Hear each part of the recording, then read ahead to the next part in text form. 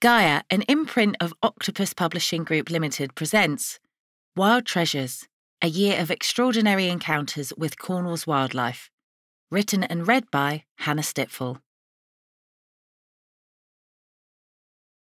Author's Note One of the things I love most about living in the UK is the changing seasons. There's an unspoken rhythm to the year, and we watch in wonder at the transformation of the natural world. An old oak sheds its acorns on the forest floor in the winter, while the wild flowers begin to bloom at the start of spring. As we watch these changes unfold, we know, almost by instinct, that we follow the clock of the natural world. The wildlife know this too. The chiffchaff and the cuckoo are the first to announce the spring season as they welcome it in with their song and the grey seal pupping season, coupled with the arrival of redwings, signify the return of the autumn and winter months. The seasons bring a sense of comfort and familiarity. They connect us to the natural world and remind us that, despite the changes, the return of a season is just around the corner. I'm spoiled by the nature on my doorstep, and I regularly go out, whatever the weather, to marvel at the world around me and to learn more of its secrets. In this audiobook, I share with you my favourite wildlife that can be seen throughout the year. Each month explores various species I have encountered and the hidden treasures found in the Cornish landscape. These pages also capture the wild stories from my adventures in the great outdoors with my camera and what I've learned about the wonderful nature we have in Britain. This audiobook is a love letter to my home in Cornwall, and I hope it inspires you to explore the nature on your doorstep, whatever the season. January, Chapter 1 The Wild West. It's the 1st of January, the dawn of a new year. A day for many of us that represents a time for change a day where resolutions are drawn up, gym memberships are bought, diets are started, career goals are set, and the saying New Year, New Me is banded about more times than Matt Hancock broke his own COVID rules. But many of us like to take the alternative approach to the new year, spending the day hideously hungover in bed, on a sofa, or in a chair, or perhaps choosing simplicity and just making a camp on the floor. Whatever our choice of soft furnishing or wherever we've chosen to while away our day of recovery, there is no doubt that the curtains are drawn, a Netflix series of at least eight episodes has been selected to see us through, and Deliveroo is at our fingertips as we promise ourselves that New Year, New Me will begin on January the 2nd that there's nothing wrong with whichever New Year's Day you choose. In fact, I believe both to be equally important. That over the years, I've had my fair share of the latter, being a party girl for many years before I became a proper person. But that's a different book altogether. I now see January as a month of all consuming and thrilling excitement a time of astonishing wildlife spectacles that we can only see at this time of year. A wildlife filmmaker's dream. Frosty mornings are filled with robin rivalry along the hedgerows, the deep rasps of corvid rookeries, and young kingfishers darting above the sandy mudflats as they travel to the estuary, as redwings fill the surrounding trees. Hundreds of thousands of starlings swirl as one against glistening pink skies, as skeins of geese fly effortlessly above, and barn owls quarter crystal like fields at dawn and dusk. These natural wonders and displays simply take your breath away. January is a month for wildlife encounters that can make you feel awestruck and unequivocally small in comparison to the natural world, right here on our doorsteps. So much so that they can make even the most uninterested say, OK, yeah, that's actually pretty cool. Tried and tested. Cornwall, where I live, is incredible for wildlife. And honestly, when the conditions are right, there's nowhere in the entire world I would rather be. The most southerly point of the UK, the county is famous for its miles upon miles of white sandy beaches, backed by towering prehistoric cliffs, swathes of heath and moorland, and for having some of the last remaining temperate rainforests in Britain. It really is any nature and wildlife enthusiast's dream. This New Year's Day, I decided to skip the Netflix hangover floor party as well as the gym membership because I had heard whispers of something much more appealing. Just the week before, I had had a tip off that there was a species I had never seen before in real life, frequenting an area about a 40 minute drive further down the coast from where I live. This was too good an opportunity to miss. So, after a quick check of the weather and a phone call to my friend, who was also keen to see this winter visitor, we had our cameras ready and were in the car on our way to the Wild West. The far west of Cornwall is a world of its own, a mosaic of vast heath, bog, twisted windswept trees, Cornish hedgerows, and quaint stone walls cutting through the landscape. The coast path is speckled with granite outcrops, ancient rocks that are part of the Cornubian batholith, a huge mass of granite that underlies much of Devon and Cornwall and began to form some 280 million years ago. This landscape is the embodiment of wild and it makes the area extraordinarily distinctive, with an open wildness that could have been written about by any great novelist or be used as a set for a high budget fantasy Hollywood movie. The area where we are headed is known to be one of the largest areas of lowland heath in the UK and is home to a myriad of rare species, including the Dartford warbler and the Perkins mining bee and it's one of the last found strongholds of the coral necklace plant. As delightful as all those species are, they don't include the one on our hit list today. And as we pull up into a tiny lay-by by the side of an equally tiny road, having used Ordnance Survey coordinates to pinpoint the exact location, I look out across a vast, expansive, windswept field with the North Atlantic Ocean sparkling behind, the winter sun getting low, and say, is this actually it? One thing about searching for wildlife in Cornwall, and as I know in many parts of the UK, in fact, anywhere in the world, it's the locating of the wildlife that is the most difficult part. It may or may not be an easily trackable species. More on that on how to track wildlife later. But if it isn't, then most of the time you are going on information shared by others that isn't always spot on. Or perhaps it was two or three days ago. But that is the nature of dealing with wildlife. It's in the name. It is wild. This means that someone could have amazing views of an animal or bird a few days in a row, but by the time you get to the location, it will have moved on. We are very lucky in Cornwall, however, and have a great network of people and groups, such as the Cornwall Birdwatching and Preservation Society, CBWPS, and the Cornwall Wildlife Trust, plus numerous Facebook groups of wildlife enthusiasts based locally who really help one another out when it comes to finding wildlife treasures.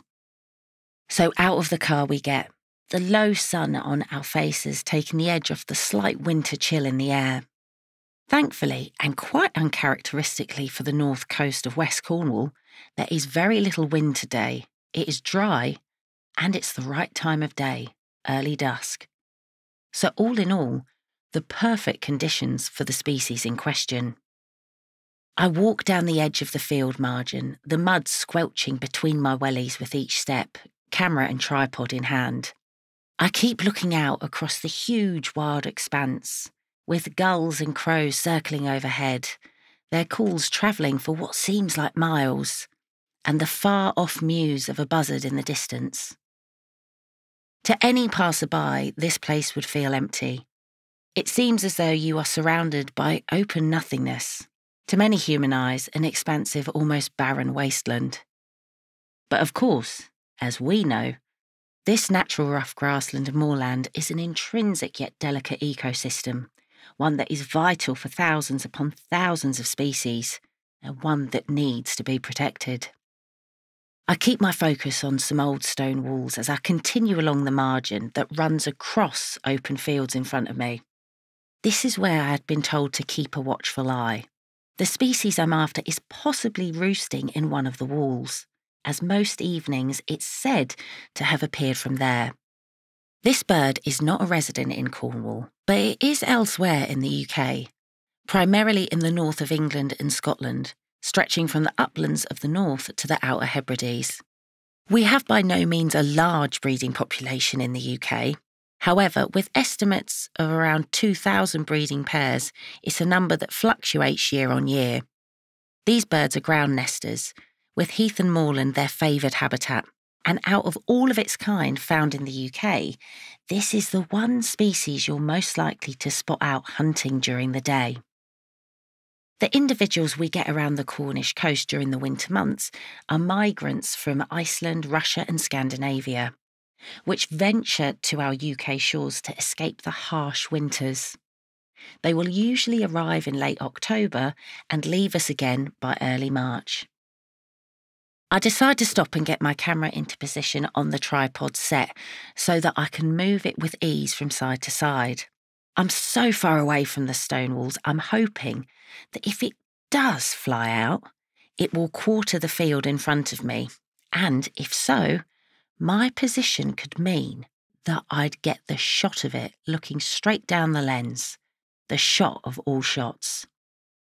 But just as I'm extending the tripod legs, I catch out the corner of my eye an extraordinarily fast moving bird that has appeared from nowhere and is now on the opposite side of the field to me.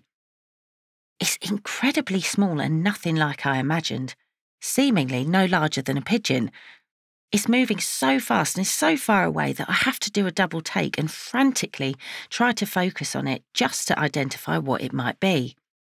Then, as if it reads my mind, it turns its head and holds a prolonged glance to the side, taking a sweeping glide.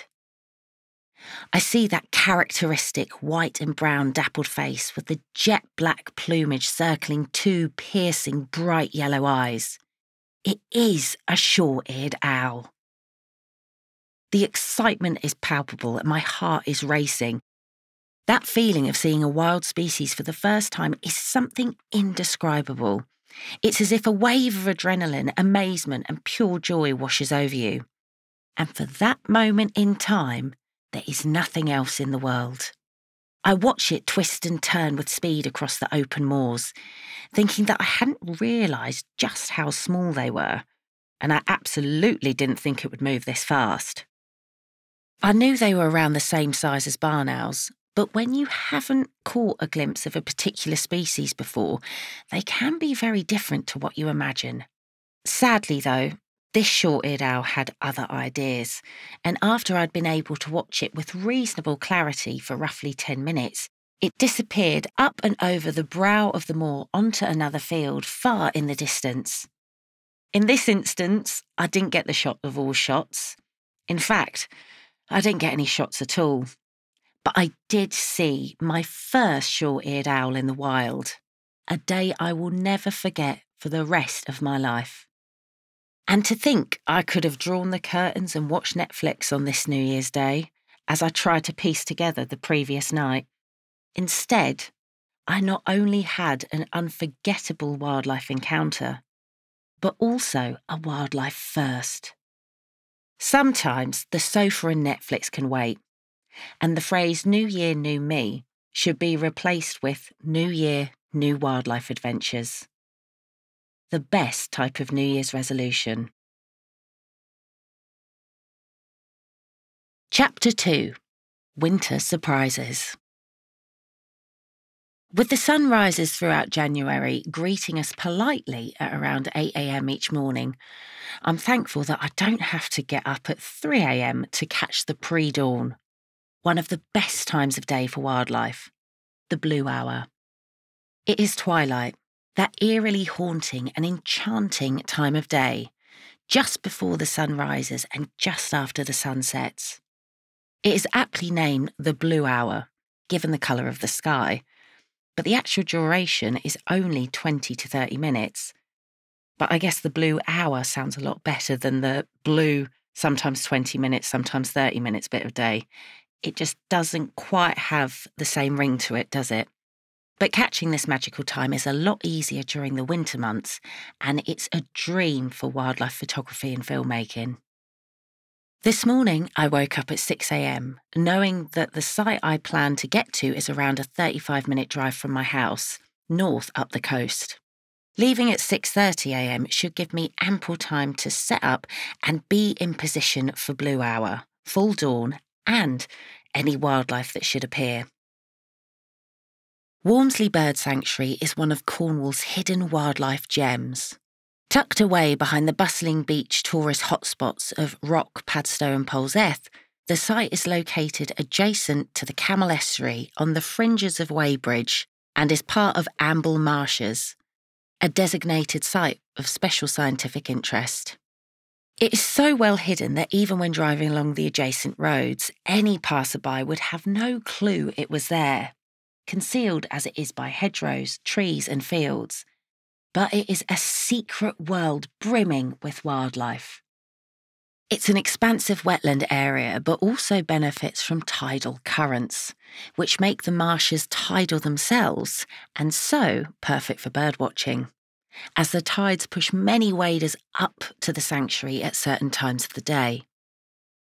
Walmsley has now become one of the most vital and acclaimed sites for waders and waterfowl in the county, thanks to the continued work from Cornwall Birdwatching Preservation Society, CBWPS, who own the site, and Warden Adrian Langdon, who has managed the sanctuary for over 20 years and, I must add, is also an excellent photographer. It is now a thriving wetland full of birder delights, especially in winter. But despite the site being known for many incredible waders and waterfowl, on this cold January morning, I haven't come to film the bird life. I'm after a highly elusive, mostly solitary mammal. One that over the past few weeks has been seen regularly at Walmsley, even during the day. A mammal that is notoriously difficult to see given their vast home ranges and primarily nocturnal habits a mammal with webbed feet, thick brown fur, highly sensitive whiskers, and a long, powerful tail, and which is an excellent swimmer. I arrive at the site just after 7am. It is dark, with the stars twinkling overhead and a waning moon now low in the sky. I can feel the moisture in the air on my skin. It was misty on the drive over, and now I can feel the mist on my hands and face. Whooper swans start calling in the field next to me as I close the car door, and I hear a tawny owl in the woodlands opposite. It is that strange, hauntingly beautiful time of day when the night hasn't yet ended, but a new dawn is beginning. The sanctuary has three hides, one of them a tower hide, and in my opinion, the best hide in Cornwall. But to get to it, I must first cross two fields. In the dark, with cows. Don't get me wrong, I love cows. In fact, I love all farm animals. Yet over the last few years, I have developed quite the relationship with species of the domesticated variety. This is mainly because I have spent much of my time in Cornwall jumping fences, trudging through ditches, and wandering across fields, which has led to my fair share of run ins with farm animals, many of them being of the tricky variety. So, having to cross fields in the dark where I know cows are roaming is not my ideal way to start the day. I switch on the torch on my phone as I head across the fields, following the tiny path left by other birders, and get over the first gate. The blue light is now becoming visible, but it's obscured by the mist, giving the morning an unearthly feel.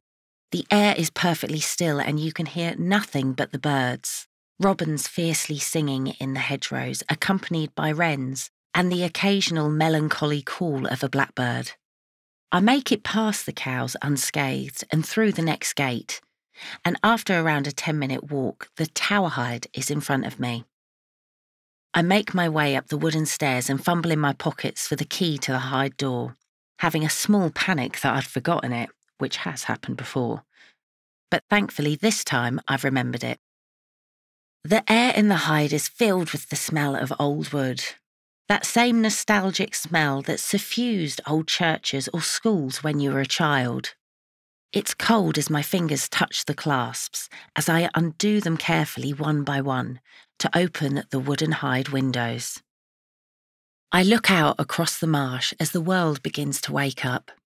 Out on the mudflats, I see pintail, teal, and widgeon starting their day with a spot of preening a northern shoveler is already on the water feeding, swaying its spatula shaped beak from side to side as it filters out plant matter and invertebrates to eat. The two syllable call of a nearby moorhen carries across the marsh, accompanied by the stirring sound of curlew, with lapwings and barnacle geese gathered in the adjacent field. The atmosphere is alive. I turn the torch off, place my phone on the side, and put my camera bag on the floor as I head to open the last hide window. When suddenly, out of the corner of my eye, I see a movement next to the reed beds just below, fleeting and small, but a movement nonetheless that most certainly wasn't a bird. It almost appeared to be a flick of a tail. No, I thought, it, it can't be. Number one, I've been here all of three minutes, and there's no way I would get this lucky so quickly. This was always a gamble at best, and I was more than happy just to enjoy the flocks of overwintering birds. And number two, even though I entered the hide as silently as I could, if it had been there, surely it would have vanished into the surrounding undergrowth or swum away having sensed my presence. With these thoughts whizzing through my head, I open the final hide window and cannot believe my eyes. I glance down to the bank below and lock eyes with none other than an otter.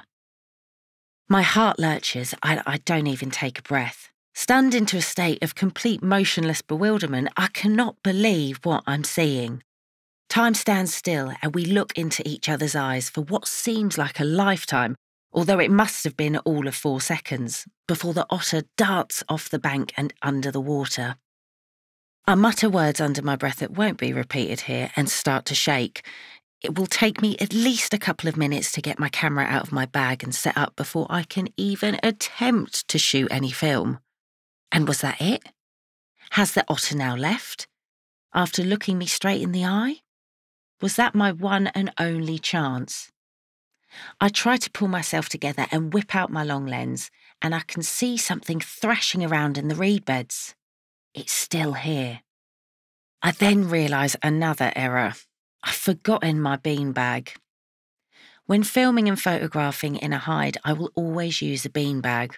I do generally have a problem with shaky hands, mainly due to the sheer excitement that comes over me when I see wildlife. And when out in the field, I always use a tripod. But in a hide situation, it's often near impossible to do that. So I often use a photography beanbag, and it makes such a difference. But today, of all days, the first time I have a wild otter in front of me in Cornwall, I have left the beanbag at home. I set up regardless, trying to make as little movement as possible as the young otter tosses and turns around in the reeds. I think it must certainly be a young one, given its behaviour over the last few weeks. Sightings had been reported here of an otter, but out in the day, which is odd for an otter. As in this part of the country, especially in the southwest, they are mostly crepuscular and or nocturnal. But the conclusion was that perhaps this was the animal's first year out on its own, and that, quite frankly, it hadn't worked out how to be an otter. Otter cubs in the wild will stay with their mother for the first two years. The mother teaches all of the skills the young need to survive how to hunt, where to hide, and even how to swim, as swimming isn't inbuilt in these semi aquatic mustelids, but is a learned skill. The mother will start these swimming lessons at a few months old, usually by simply pushing the cub into the water. This young otter had mastered the art of swimming, but being seen during the daytime is highly unusual, so perhaps it hadn't quite got the hang of that part just yet. I sit and watch, and the otter, while it dives in and out of the water as it hunts, doesn't seem bothered by my presence, giving me the occasional glance. Its fur glistens as the sun begins to peep through, the marsh now alive with the sounds and colours of a winter wetland paradise, and the lingering smell of old wood still surrounds me in the misty air. The otter swims in and out of the water, and even comes back to the bank for a short time. I attempt to take some shots, but it's a pointless venture without my beanbag, so I just soak it all in. As I sit there in silence, wrapped in a blanket of sound, with winter waders and waterfowl calling, the splashing of an otter as it hunts, and birdsong from the hedgerows filling the air, I don't even feel the cold. I'm over the moon I got up early on this cold, misty January morning. Even in the winter when we don't feel like it, it is always worth getting up and heading out for wildlife because you never know. Sometimes the winter is full of surprises. Chapter 3 Nature's Fireworks Animal movements, social hierarchy, and species interactions. These are all areas of animal behaviour that have fascinated us for thousands of years. Why do lions live in prides, wolves in packs, prairie dogs in coteries, bison in herds, and badgers in sets? And dolphins move in pods. These are questions that biologists and animal behaviourists have long studied in order to formulate coherent reasons as to why different species move, behave, and live together the way they do. And if there is one thing we do now know, nothing in the natural world is done without reason. Whether that be safety in numbers, an increased chance of a successful hunt, improved odds of sharing important resources, communication, obtaining the right to breed, having a better chance of reproduction, or whatever the functionality may be. Every single behaviour, hierarchy, and living arrangement has one simple rationale. To secure the growth and survival of the species. But with an estimated 8.7 million species found on planet Earth, and currently only around 1.8 million at being formally identified, there is still so much we don't know, and perhaps never will. It's 2:30 p.m. in the afternoon. This week has been quite uninspiring when it comes to getting out and filming wildlife. In fact, it has been impossible. Huge coastal storms with 100 mile per hour winds have engulfed the southwest of the UK, right the way from Penzance to Bristol. Ancient oaks have toppled over into roads, roof tiles have been lifted from their forever homes, and numerous photographs of children's trampolines having been hurled into neighbours' gardens are circulating on social media, much to people's amusement.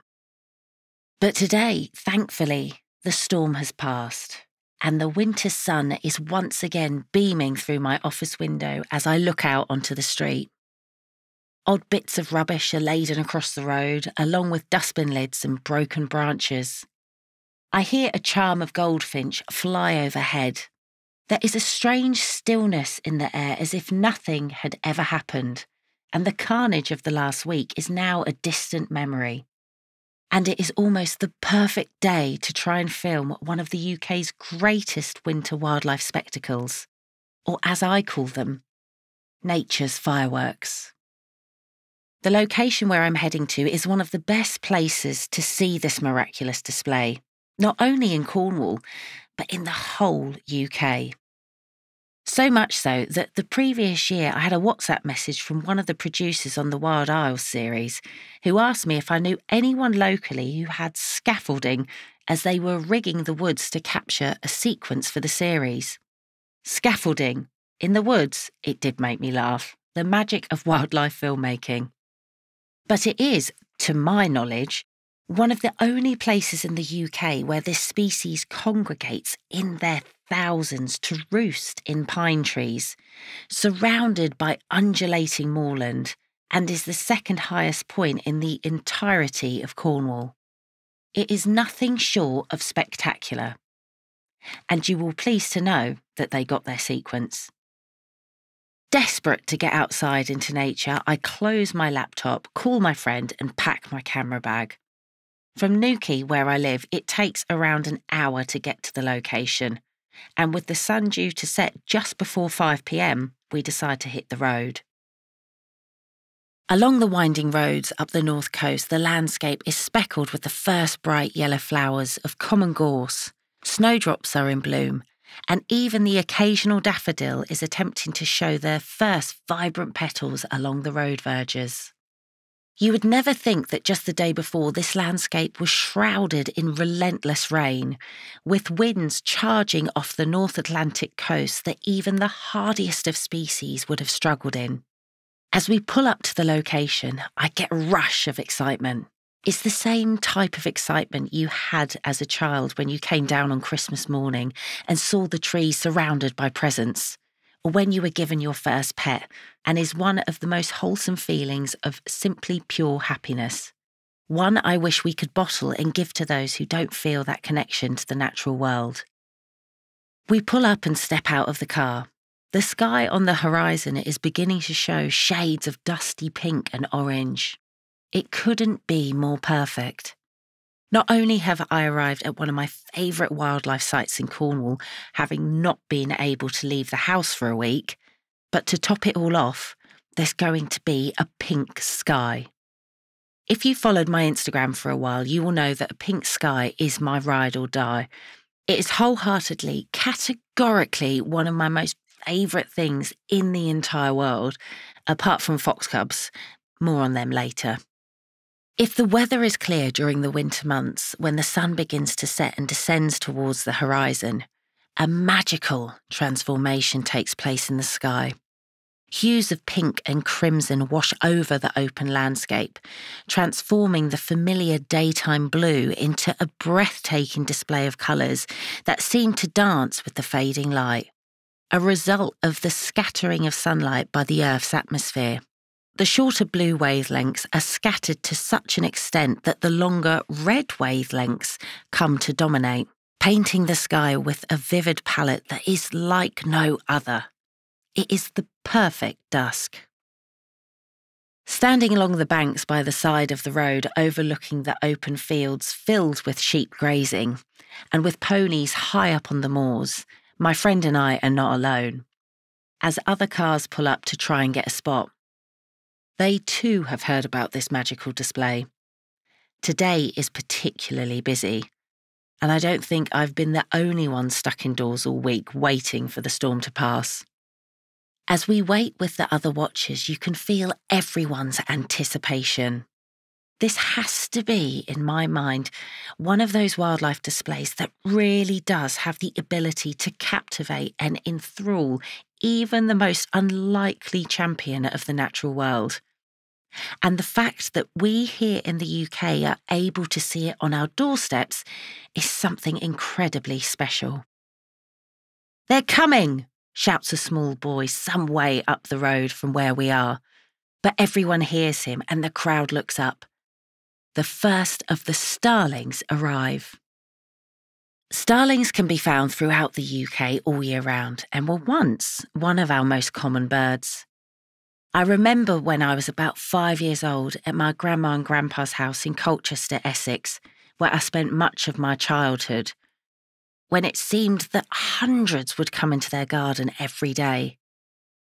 I remember sitting at the window with Grandma and her pointing out their iridescent plumage and how, when you get a closer look, their feathers shimmer purple, green, and blue in the sunlight. I vividly recall just sitting on the kitchen floor for hours watching them. Sadly, though, they have drastically declined in the UK. Studies have shown that starling numbers have fallen by around a staggering 66% in the UK since the 1970s.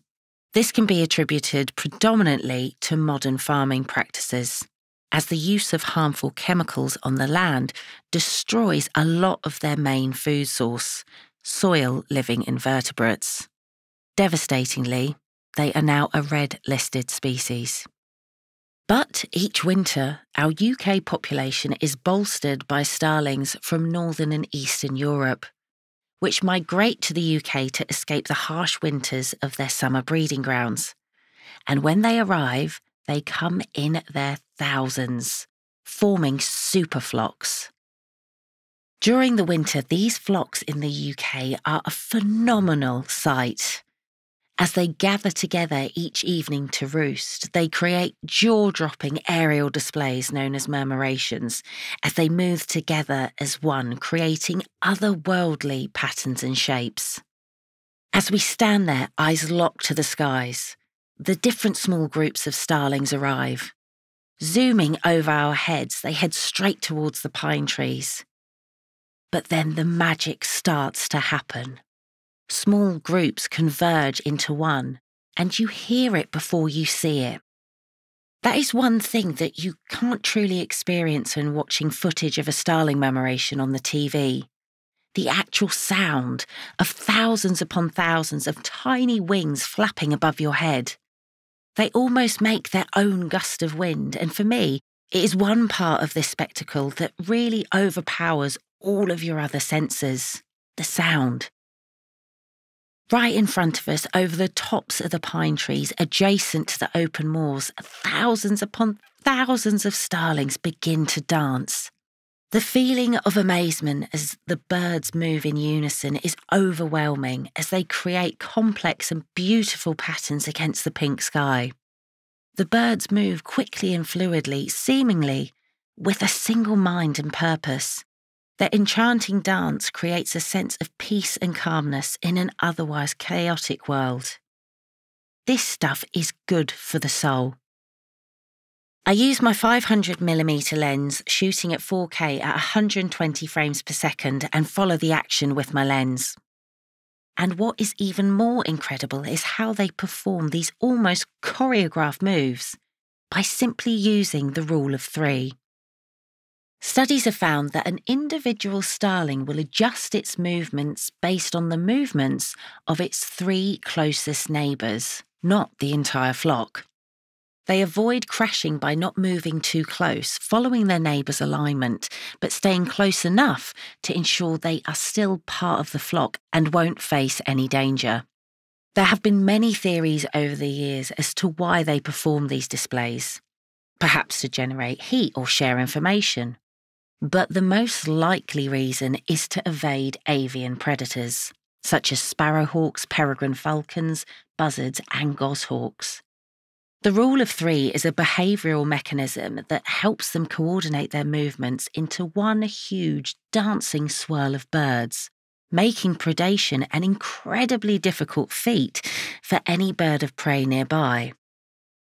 That said, Will we ever really have the answer as to why they perform these displays? Who knows? But as animal movements and species interactions go, I think the starling murmuration has to be my favourite of all time. Who needs prides of lions and herds of bison when we have starling murmurations right on our doorstep? As we watch on until the pink sky begins to fade, the oohs and ahs from our fellow onlookers fill the air. It's not just me who is in total awe of these magnificent birds, and that's why I call them nature's fireworks. A starling murmuration brings out the same oohs and ahs we hear on New Year's Eve. But this is a natural phenomenon, and there really is nothing like it in the world. It's the calm after the storm, a calm that should be on everyone's winter wildlife watching list. Nature's fireworks. February, Chapter 4 The Tiny Kinglet. When I first came to Newquay, I was 18. Me and my best and oldest friend Jessie drove down that summer after one of the muddiest, wettest Glastonburys on record for a weekend of surfing.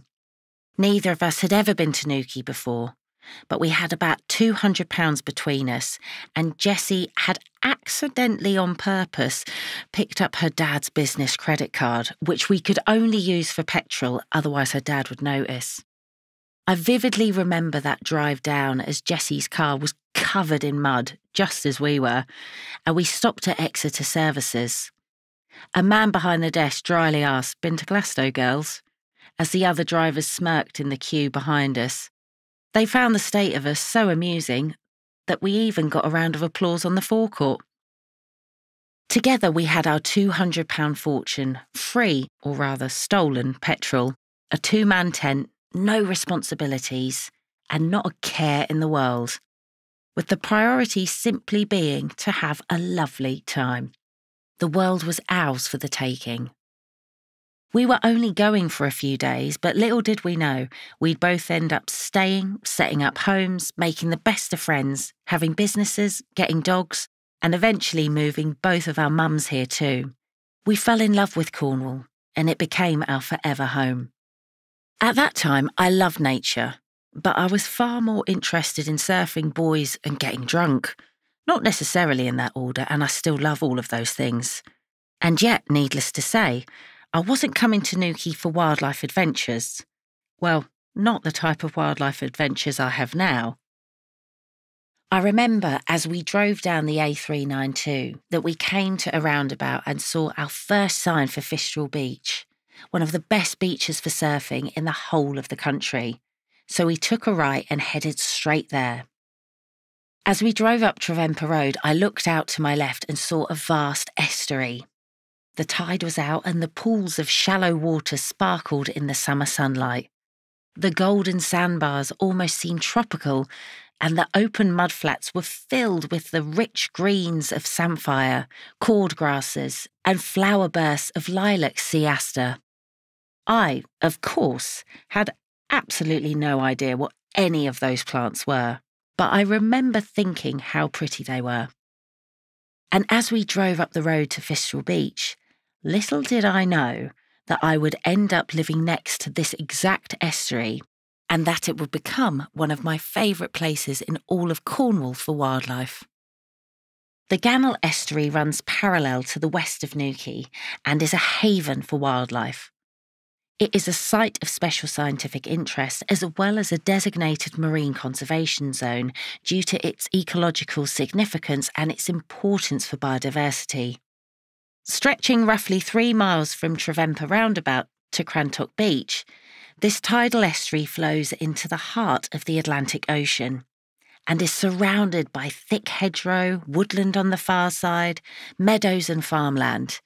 It is a world away from the pubs and clubs that are just a stone's throw away. On this February afternoon, the mizzle had set in. Mizzle is a term used in Devon and Cornwall for those grey days where the sea fog has engulfed the land and the fine raindrops create a misty drizzle that won't lift.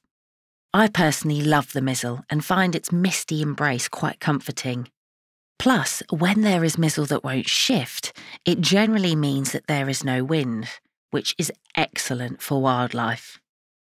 This February afternoon, however, wasn't actually meant for wildlife spotting but was a simple dog walk with Isabel, my white German Shepherd and the love of my life. Even on our daily dog walks, I always have my camera bag with me, as the most amazing wildlife encounters can often be when you least expect them. And today was one of those days.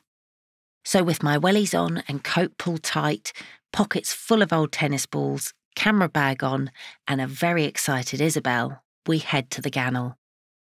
There is something quite mesmerising about a winter's walk on a grey day. The sky is overcast, the ground soft underfoot, and I can hear the calls of redshank and oyster catchers out on the mudflats. The bare trees without their green leaves add to the subdued shades of the surrounding landscape. The mist hangs delicately in the air and the scent of ocean spray lingers. We walk along the northern side, and I look up to the thick, undisturbed, scrubby hedgerow as I throw a tennis ball. The hedgerow that runs along the Gannel is relatively untouched. Given the estuary is tidal, there is no opportunity for developers to try to destroy the scrub areas by building any further than the road. And during lockdown, I spotted more bird species here than I have in most of our designated nature reserves.